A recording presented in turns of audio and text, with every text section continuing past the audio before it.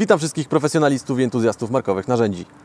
W tym odcinku zaprezentuję Wam akumulatorową ukośnicę DCS727 marki DeWalt. Dziś sprawdzimy również ile cięć wykonamy na jednym naładowanym akumulatorze. Zapraszam.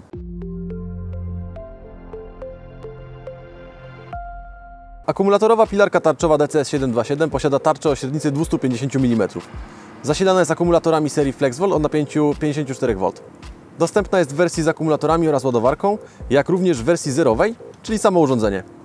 Ukośnica współpracuje z systemem odsania pyłu Airlock, a wskaźnik XPS dokładnie wskazuje linię cięcia dostosowaną do grubości tarczy, bez konieczności każdorazowej kalibracji oraz doświetla obrabiany element.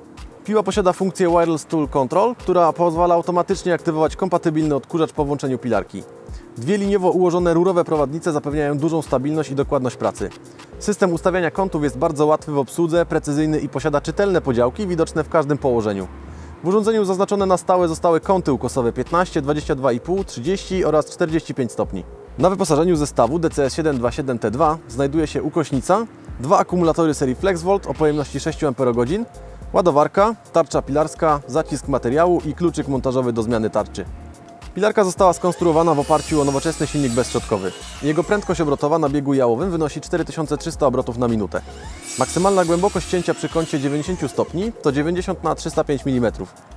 Przy kącie 45 stopni natomiast parametr ten wynosi 50 na 305 mm. Bez akumulatora waży nieco ponad 20 kg. Nasza ukośnica, którą wykorzystaliśmy do testu jest używana i pracuje na regularnie używanym od około roku akumulatorze o pojemności 6 Ah. Cięcie wykonywane jest na impregnowanej kantówce zakupionej w markecie budowlanym o wymiarach 70 na 70 mm. Aby test wyszedł wiarygodnie, urządzenie każdorazowo przed każdym kolejnym cięciem zostaje wyłączone i uruchomione ponownie od zera. Wynik testu umieszczony zostanie w dolnej części ekranu.